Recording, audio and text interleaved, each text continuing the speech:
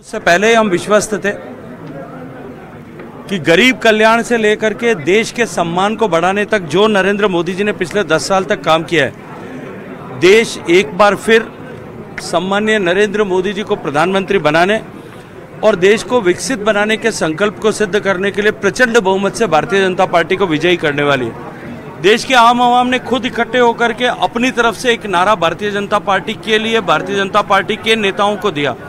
और वो था अब की बार 400 के पार। और जब 400 के पार के संकल्प को लेकर के हम चले तब मुझे लगता है कि एग्जिट पोल का अब कहना शायद देश में किसी भी ऐसा व्यक्ति जो जो देश की राजनीति को ईमानदारी से समीक्षा करता है उसके लिए अप्रत्याशित नहीं होगा।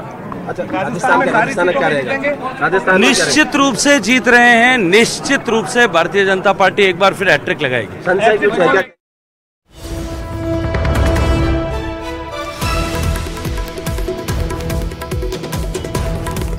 एग्जिट पोल को लेकर अब जो नेताओं के बयान है, वो भी निकलकर सामने आने लगे हैं। जब पांचवा चरण होने वाला था, उस समय एक नैरेटिव आया था। और उसमें एक तारीख को क्या होगा, दो तारीख को क्या होगा, चार तारीख को क्या होगा, पाँच तारीख को क्या होगा, छह तारीख को क्या होगा, वो सब बताया गया था। उसमें यह तय किया था कि एक तारीख को शाम को वो एग्जिट पोल से भागेंगे। चार को नतीजे आएँगे, पाँच को ईवीएम पर टिकरा फोड़ेंगे।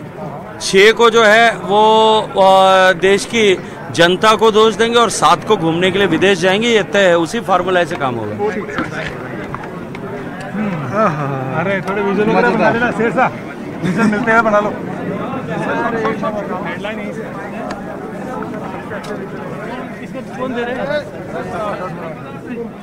तो देखिए ये बैठक इस वक्त जो चल रही है भारतीय जनता पार्टी की जिसमें परफॉर्मेंस को लेकर आकलन किया जा रहा है वहाँ पर सभी वरिष्ठ नेता भारतीय जनता पार्टी के इस वक्त मौजूद हैं। सीपी जोशी की अध्यक्षता में ये बैठक आ- चल रही है और इसी बीच जो प्रतिक्रियाएँ भी निकलकर सामने आ रही हैं क्योंकि आ, बस पाँच बजे एग्जिट पोल जो है आज हम आपको दिखाने जा रहे हैं और एग्जिट पोल से पहले नेताओं की प्रतिक्रियाएँ निकलकर सामने आ रही हैं जिसमें साफ़ तौर पर भारतीय जनता पार्टी तो आश्वस्त है कि 400 पार जो है भारतीय जनता पार्टी जाने वाली है।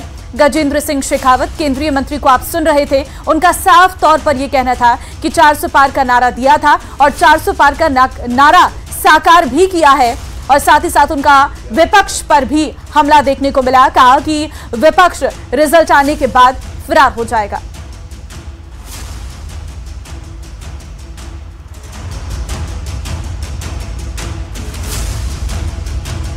और चलिए आगे बढ़ते हैं। अब जरा बात मौसम की कर लेते हैं। सीकर में मौसम का मिजाज बदलने से अचानक बारिश हो गई है, जिससे लोगों को गर्मी से राहत मिली है। आपको बता दें, फतेहपुर मौसम केंद्र पर आज का अधिकतम तापमान बयालीस डिग्री दर्ज किया गया है। पिछले पंद्रह दिन में ये पहला मौका है, जब तापमान 45 डिग्री से नीचे आया है और कई जगह हल्की बारिश होने की वजह से लोगों को गर्मी से राहत भी मिली है।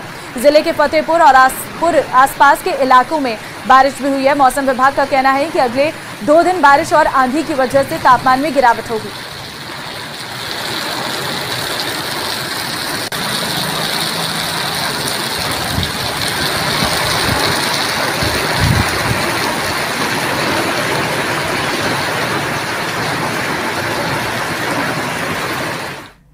चलिए फ़िलहाल इस बुलेटिन में आज के लिए बस इतना ही। आप बने रहिए हमारे साथ और देखते रहिए देश का नंबर वन न्यूज़ चैनल। नमस्कार।